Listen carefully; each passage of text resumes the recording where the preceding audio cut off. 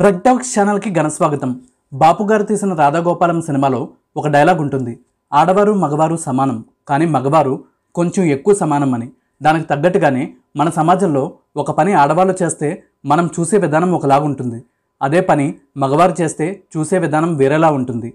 Director Teja గారి దర్శకత్వంలో పూరి జగన్నాథ్ గారి సోదరుడు సాయిరామ్ శంకర్ గారు హీరోగా వచ్చిన వెయ్యి అబద్ధాలు సినిమాతో హీరోయిన్గా పరిచయం అయ్యి సునీల్ గారు హీరోగా వచ్చిన భీమవరం బుల్లోడు సినిమాతో మంచి గుర్తింపు తెచ్చుకొని ఆ తర్వాత సింగర్ నోయల్ గారితో వివాహం ఆ తర్వాత కొన్ని రోజులకే విడాకులతో వార్తల్లో నిలిచి ప్రస్తుతం సిక్స్టీ నైన్ సంస్కార్ కాలనీ అనే సినిమాలో హీరోయిన్గా నటిస్తూ యూట్యూబ్లో తన స్పీచ్లతో నిరంతరం వార్తల్లో నిలుస్తున్న ఎస్తర్ గారి జీవితంలో ఎవరికీ తెలియని అత్యంత ఆసక్తికరమైన అన్ని విషయాలు ఈ వీడియోలో తెలుసుకుందాం. ఎస్తర్ గారి పూర్తి పేరు ఎస్తర్ వలేరి నరోన్హా.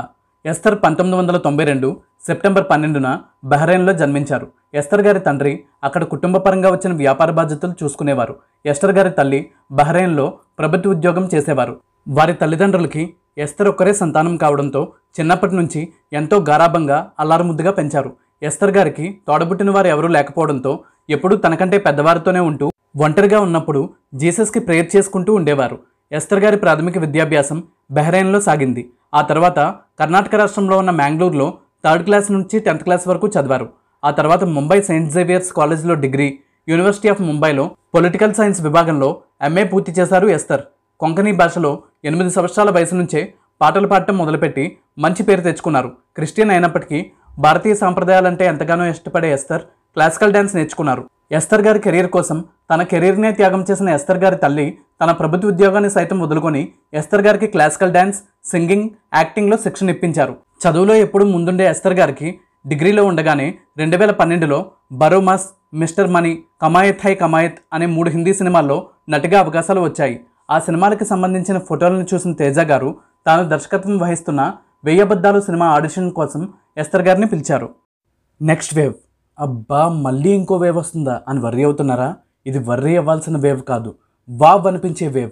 మీలో లేదా మీ కుటుంబ సభ్యుల్లో ఎవరైనా ఇంటర్మీడియట్ లేదా డిగ్రీ పూర్తయి సాఫ్ట్వేర్ జాబ్ చేసి లక్షల్లో సంపాదించాలనే ఆలోచన ఉండి అయ్యో బీటెక్ లేదా డిగ్రీలో కంప్యూటర్స్కి సంబంధించిన కోర్స్ తీసుకోలేదే అని బాధపడుతున్నారా? డిగ్రీలో ఏ గ్రూప్ చదివినా లేదా ఇంజనీరింగ్లో ఏ గ్రూప్ తీసుకున్నా కూడా సాఫ్ట్వేర్ జాబ్ చేసి లక్షల్లో సంపాదించే అవకాశం ఇప్పుడు మీకోసం. ఇండియాలో ఇరవై నుంచి ఇరవై నాలుగు సంవత్సరాల వయసున్న వారిలో అరవై మూడు శాతం మంది డిగ్రీ పూర్తి చేసినా కూడా నిరుద్యోగులుగానే ఉంటున్నారు. లేదా అత్యంత తక్కువ శాలరీస్కి పనిచేస్తున్నారు. అలా అని ఇండియాలో జాబ్స్ లేవా అంటే ఇండియన్ స్టాఫింగ్ ఫెడరేషన్ అంచనా ప్రకారం రెండు వేల ఇరవై మూడు కల్లా దాదాపు ముప్పై లక్షల జాబ్స్ ఉన్నాయి. సాఫ్ట్వేర్ జాబ్ అది కూడా నెలకి పదిహేను వేలు ఇరవై వేలు సంపాదించడం కాకుండా లక్షల్లో ప్యాకేజ్ సంపాదించాలంటే కావాల్సింది సర్టిఫికేట్స్ కాదు స్కిల్.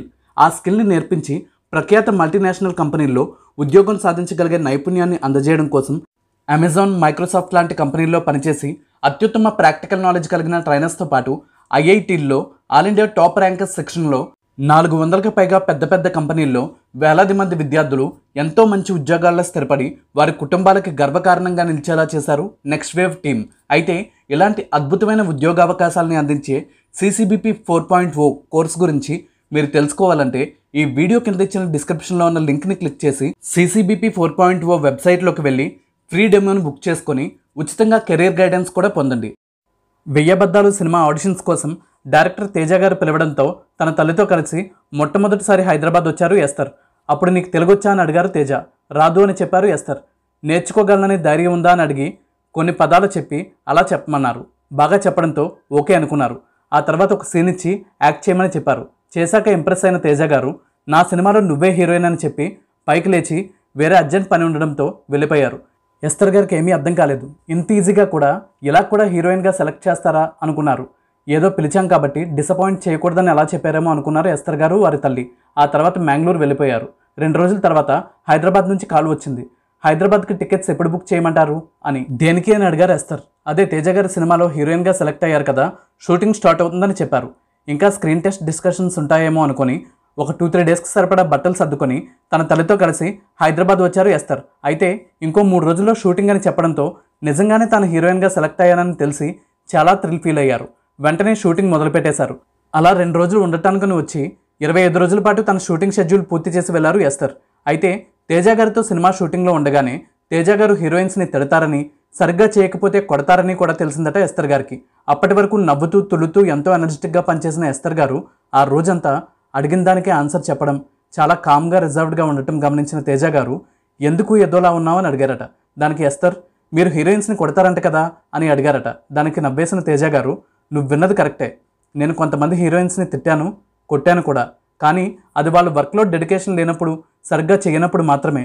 నువ్వు నీ వర్క్ పర్ఫెక్ట్గా చేస్తున్నావు టైంకి వస్తున్నావు. కరెక్ట్గా డైలాగ్స్ చెప్తున్నావు. అలాంటప్పుడు నేను ఎందుకు కొడతాను? ఇన్ని రోజులు నాతో వర్క్ చేసావు కదా. నేను ఎలా పడితే అలా మాట్లాడి తిట్టేవాళ్ళగా కొట్టేవాళ్ళగా కనిపిస్తున్నానా?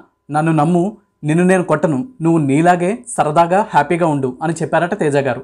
ఆ సినిమా షూటింగ్లో తెలుగు రానప్పటికీ పట్టుదలతో తెలుగు నేర్చుకుని సింగిల్ టేక్లో ఎస్తర్ గారు చెప్పిన డైలాగ్స్కి ఆ చిత్ర యూనిట్ సభ్యులంతా మూడు సందర్భాల్లో క్లాప్స్ కొట్టారట.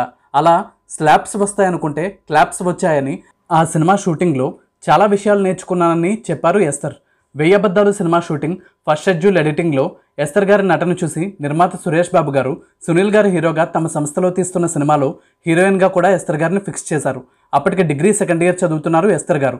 సురేష్ ప్రొడక్షన్స్ లాంటి పెద్ద బ్యానర్లో హీరోయిన్గా అవకాశం పొందడంతో వరుసగా సినిమా అవకాశాలు వచ్చాయి. కానీ తన డిగ్రీ మధ్యలో ఉండడంతో కొంత గ్యాప్ తీసుకొని డిగ్రీ పూర్తి చేశారు ఎస్తర్.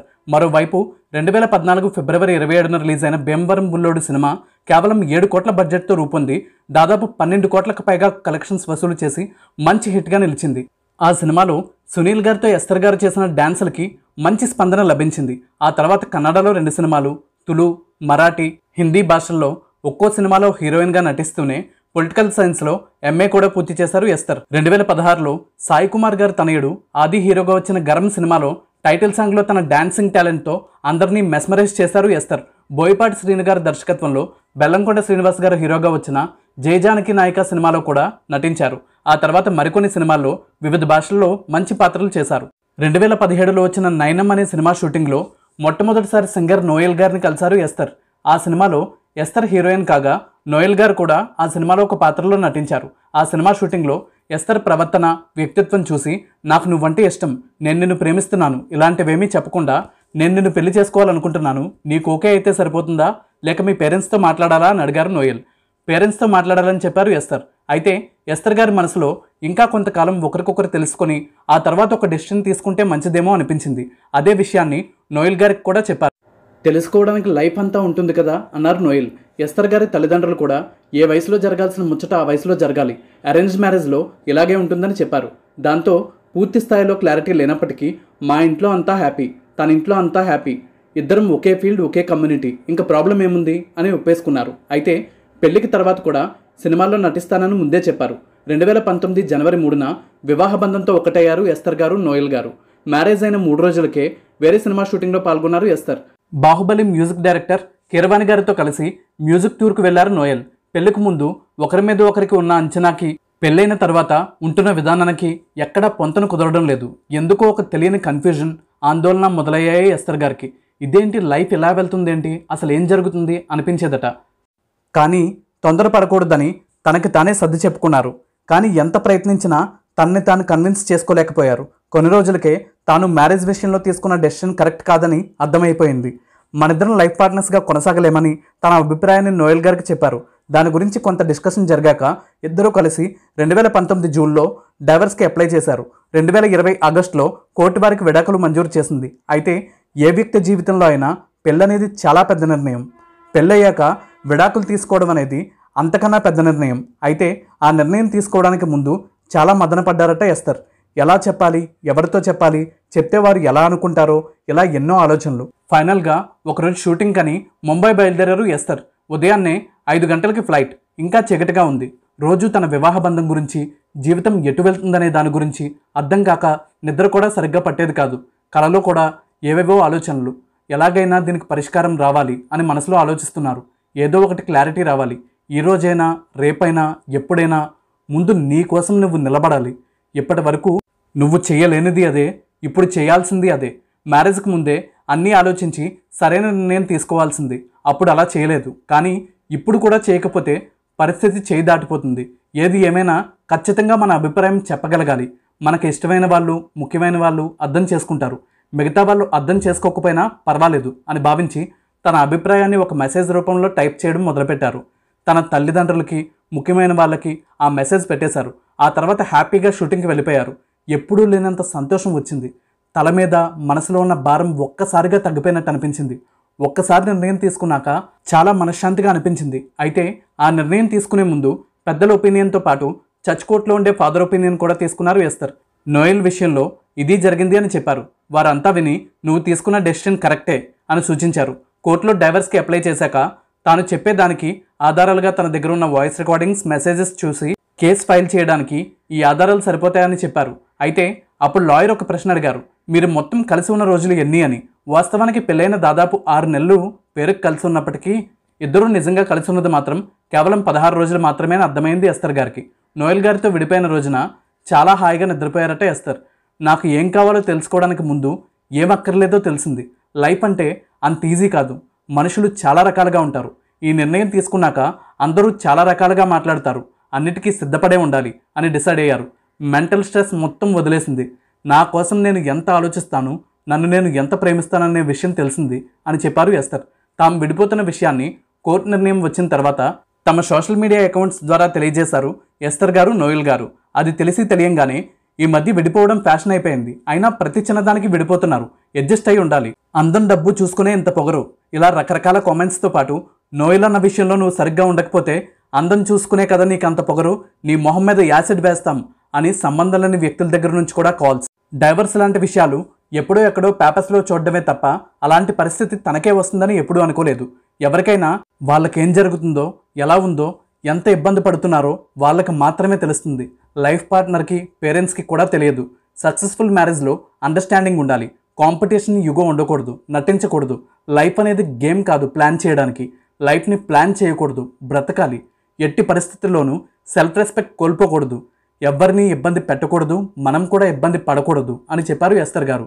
ఏదైనా ఒక రిలేషన్ బాగున్నా బాగా లేకపోయినా ఇద్దరి మిస్టేక్ ఉంటుందని చెప్పిన ఎస్తర్ గారు తెలుగు అమ్మాయి కాకపోయినా ఎంతో అద్భుతంగా అనర్గళంగా తెలుగు మాట్లాడతారు. సిక్స్టీ నైన్ సంస్కార్ కాలనీ అనే సినిమాలో పెళ్ళయ్యాక తనకన్నా చిన్న వయసున్న అబ్బాయితో ప్రేమలో పడిన పాత్రలో నటించి వార్తల్లో నిలిచారు. ఆ సినిమా ట్రైలర్ చూసిన అందరూ ఏంటి అమ్మాయి అయ్యుండి కూడా ఇలాంటి సినిమాల్లో చేసిందని డబ్బుల కోసమే చేసిందని రకరకాలుగా మాట్లాడుతున్నారని కానీ నాతో పాటు ఆ సినిమాలో మగవాళ్ళు కూడా చాలామంది నటించారని వాళ్ళ గురించి ఒక్కరు కూడా మాట్లాడరని అమ్మాయి కాస్త రొమాంటిక్గా నటిస్తే బరి తెగించింది అనేవాళ్ళే అబ్బాయి ఎంత రొమాంటిక్గా నటించినా ఏమీ అనకపోగా బాగా ఎంజాయ్ చేశాడు అంటున్నారని చెప్పారు.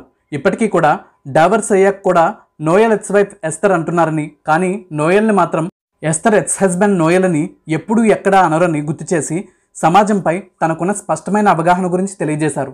సినిమా ట్రైలర్ ఏంటి ఇలా ఉంది టీజర్ ఏంటి అలా ఉంది మరీ ఇంత హాట్గా ఉందేంటి అని sixty nine Sanskar colony cinema trailer గురించి అందరూ విమర్శిస్తూనే ఉన్నారు. కానీ యూట్యూబ్లో ఆ టీజర్ ట్రైలర్స్కి స్టార్ హీరోల సినిమాలని తలదన్నేలా మిలియన్స్లో వ్యూస్ లక్షల్లో లైక్స్ వేలల్లో కామెంట్స్ వస్తూనే ఉన్నాయి.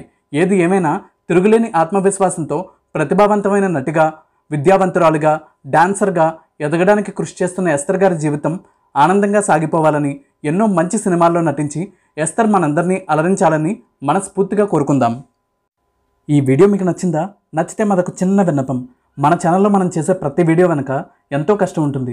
ఆ కష్టానికి మీరు ఇచ్చే ప్రతిఫలం మన ఛానల్లో ఇతర వీడియోలు కూడా ఒకసారి చూడండి. మన వీడియోస్ అండ్ కంటెంట్ మీకు నచ్చితే మీ లైక్స్ కామెంట్స్ షేర్స్తో పాటు మన ఛానల్ని సబ్స్క్రైబ్ చేసి పక్కనే ఉన్న బెల్ ఐకాన్ ప్రెస్ చేసి ఆల్ నోటిఫికేషన్స్ యాక్టివేట్ చేయడం ద్వారా మన ఛానల్ కుటుంబ సభ్యుల్లో ఒకరిగా చేరిపోండి. ఈ వీడియోని చివరి వరకు చూసినందుకు ధన్యవాదాలతో Me Mimicry Prabhin. Thank you.